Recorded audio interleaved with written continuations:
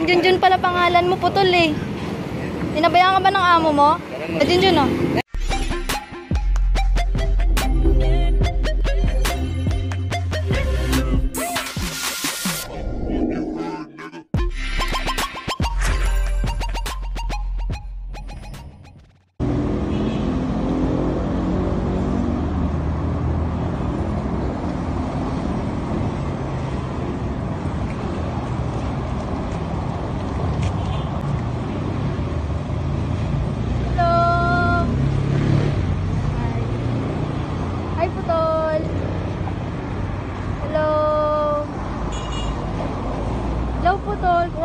Naman!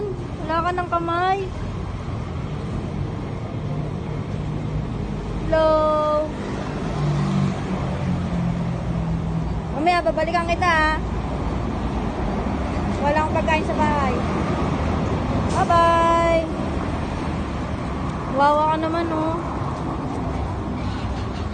Kuha na kita ng pagkain sa bahay, ah. Wait lang, ah. Babalikan kita.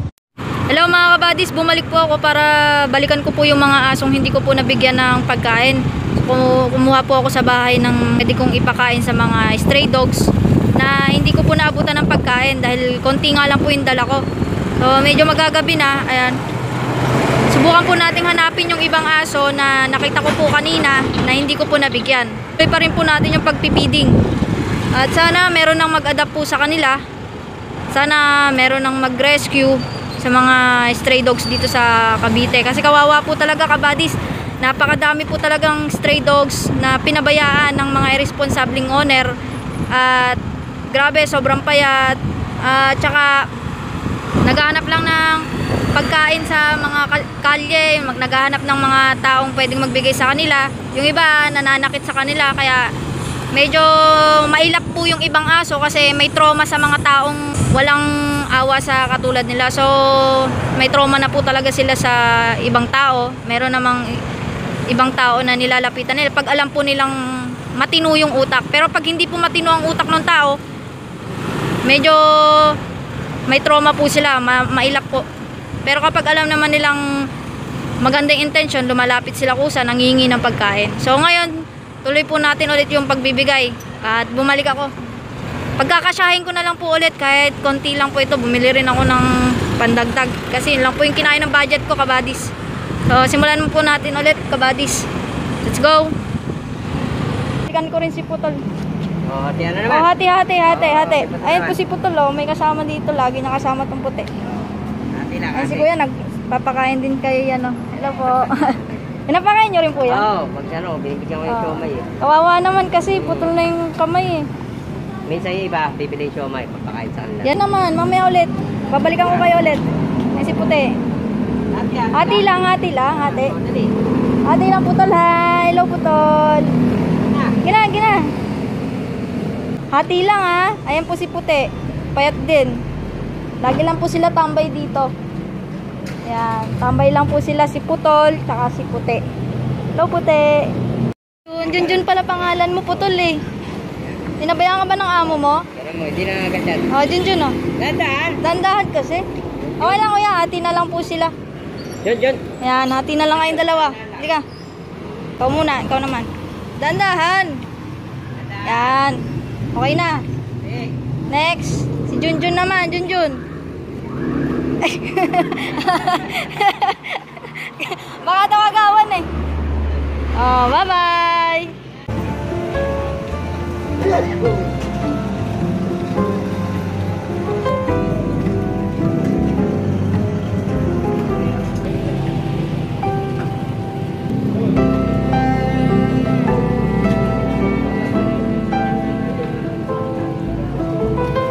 Tapos na siya kumain. Okay na, okay na. Okay na. Tapos na. Bye-bye. Bye-bye. Bye-bye. Bye-bye.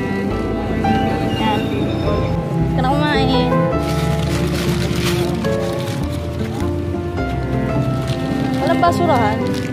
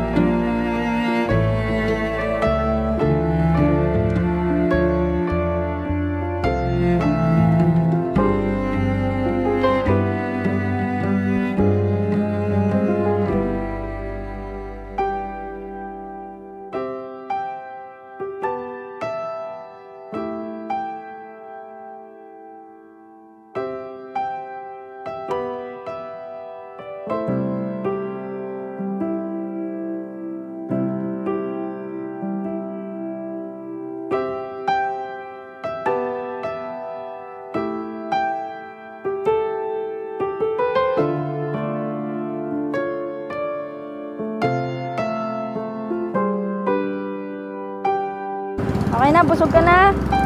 Kunin ko na yung plastic mo. Tapon na natin sa basurahan. Bye-bye.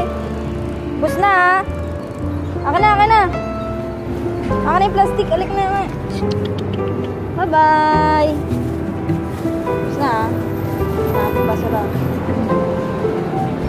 Kaya may, ate may basurahan ka? Kabadis, binalikan ko po yung aso na nadaanan ko ngayong tanghaling tapat. Ito po, aabutan ko ng pagkain.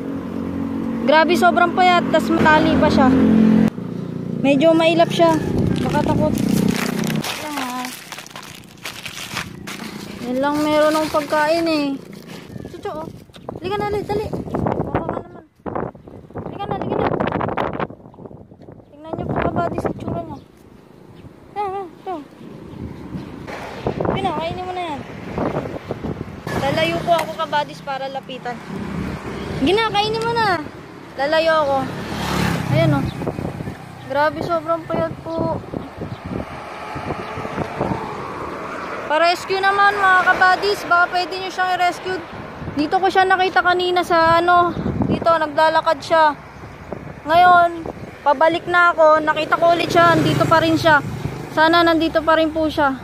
Kapag na-rescue na siya. Pero dito dito lang siguro siya naggagala. Ayan o.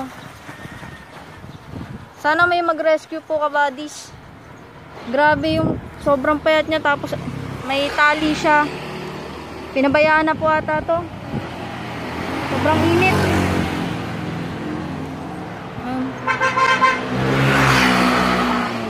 Medyo mailap kasi siya kaya hindi ko malapitan. Yan. Sige na, bye-bye. Bye-bye. Ayan po itsura niya kabadis, oh. Hmm. Bye-bye. Sana may mag-rescue na sa'yo. Sana nandito ka pa rin. Bye-bye.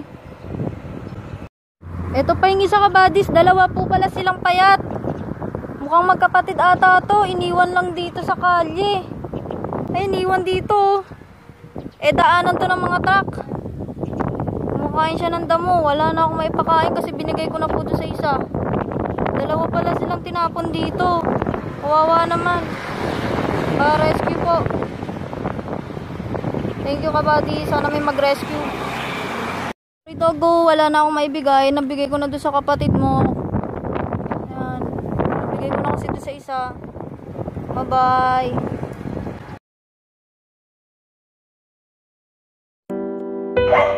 Sanay na yan dito sa tapat namin. Nangihingi siya ng pagkain tuwing, tuwing tanghali.